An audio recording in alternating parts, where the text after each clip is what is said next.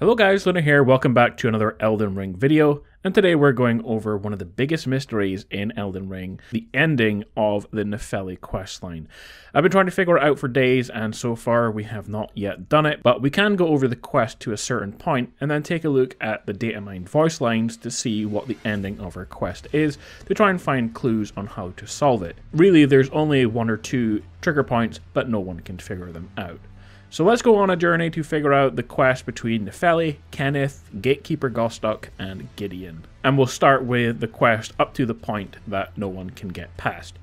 To start with, you speak with Gatekeeper Gostoc at the beginning of Stormveil Castle. Whatever your options you decide to do with him, or whatever you say to him in the castle, it doesn't really matter. Because you might see him several times in Stormveil, but whatever happens, you just don't kill him, as we'll speak with him later. You can also meet Nepheli in Stormveil Castle shortly before the Godrick boss room. Now, this step is not required for completing the quest, as I personally never spoke with her, but you can summon Nepheli to help you fight Godrick if you wish. After defeating Godrick, she will move to the Round Table Hold. And after defeating Godrick, Gostoc will be seen stomping on Godrick's remains, and you can't do any more with him for now. We will get into the rest of his quest when we look at the Datamine voice lines. At this point, you can speak with Kenneth Haight. You meet him in Limgrave, north of the Mistwood, stranded on some ruins, and you can speak with him. And you have to retake his fort in the south by killing the knight inside. Of course, it's called Fort Haight. Return to Kenneth, and you can use up all his dialogue, and he will return to the fort. At which point, his quest will end for now, and he will simply talk about going on a quest in order to find his ruler or true lord of royal lineage, as he says. Uh, At Roundtable Hold, then, you can speak with Gideon about Nepheli. You speak with her and use all her dialogue, and she will disappear and move to the village of Albinauric. You talk to her there, and she doesn't say much, but after you defeat the Omen Killer in the village, you can speak with her and she'll move back to Roundtable Hold, but this time she is in the basement. You can speak with her, and you can speak with Gideon, and then you can speak with her one final time, and then you need to go off and find an item for her. At the four belfries, you can use the portal to reach the Chapel of Anticipation, the area that you begin the game in, and you can acquire the Stormhawk King Ashes, and there's also another Ashes here as well. It's not an actual summon, but it's a key item that you can then go to Nepheli and give her. And when you do, she will say it reminds her of her first hawk. Now, in regards to Seluvis's potion that you're supposed to give her, well, I still have it in my game, and I've never given it to her, Gideon, or anyone else, because I've never really seen a reason to. And I know from doing previous quest lines, like the Tanith and Rya one, where you get a potion that you can give to Rya, giving her the potion would end that quest line early, so I thought it best not to do anything with it. But at this point, that is as far as any of these three quest lines have gone. But we do know that there is a lot more to this quest from Datamine dialogue options, and we're going to take a look at them to see how the quest is supposed to end and see if it offers us any more clues in triggering those endings. So let's take a look at the first set of dialogue for Nepheli, and she mentions the hawk and the storm in the basement of the Round Table Hold, and she's obviously no longer there in this set of dialogue.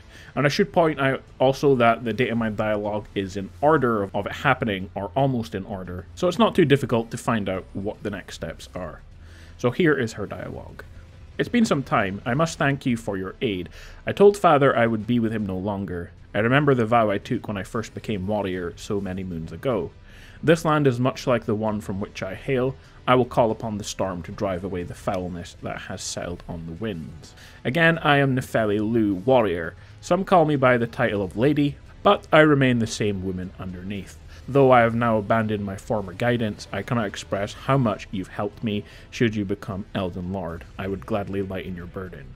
Farewell, fellow warrior, I will remain to summon the storm, but your guidance and your fight surely lie elsewhere and that is the end of her dialogue after she's at Roundtable Hold.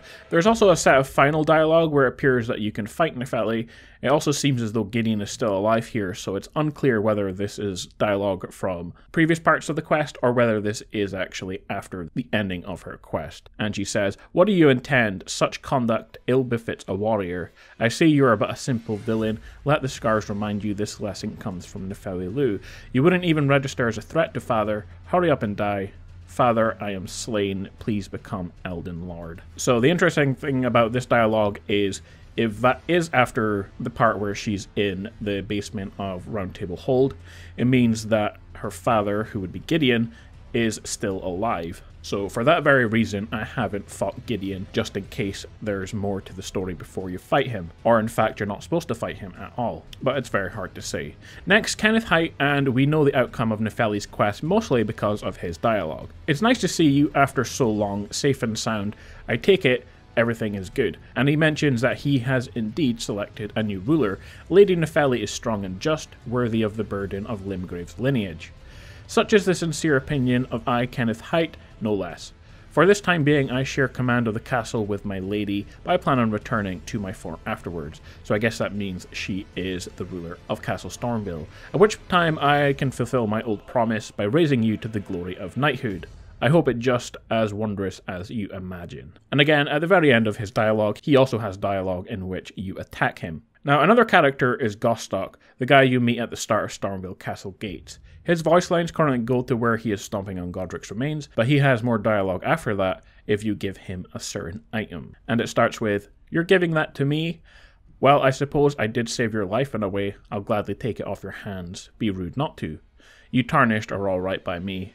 The sweet ones like you, anyway. But then after this, Gostoc will have lines for when Nepheli has become ruler. Ah, you, is it? Haven't seen your mug in quite some time.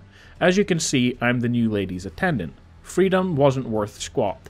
Besides, I like it round here. Lady Nepheli's still fair of heart and countenance. Still, I have the lady's trust, so I can loot all the corpses I like. I'll let you take a look at the goods if you fancy, and then there's dialogue for when you look at his store, presumably. And of course, there's Gostoc dialogue for when you attack him as well.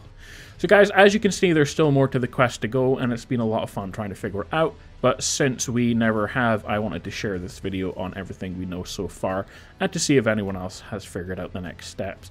Specifically, what item you give to Gostoc, and where you aided Nepheli, the two main next steps to unlocking the remaining parts of the mission, but for now it's all still a mystery. Nepheli is still at Round Table Hold, talking about her hawk, Gostoc is still stomping on Godrick's remains, and Kenneth is still in his fort. I have seen some people mention that after you defeat the fire giant and you burn the Erdtree, that Nepheli will go missing from Round Table Hold. But on the other hand, I've seen people who have mentioned that after doing that, she's still there. So for now, I haven't destroyed the Erdtree in case there's a certain trigger in order to get her to leave the Round Table hold. But there's still a lot left to understand about this whole quest line. But what we do know is Nepheli is the new ruler Kenneth is looking for, and she moves to become the ruler of Stormveil Castle. But how we get there is a mystery. Let me know your thoughts in the comments and your theories on this quest. Like and subscribe, and I will see you next time.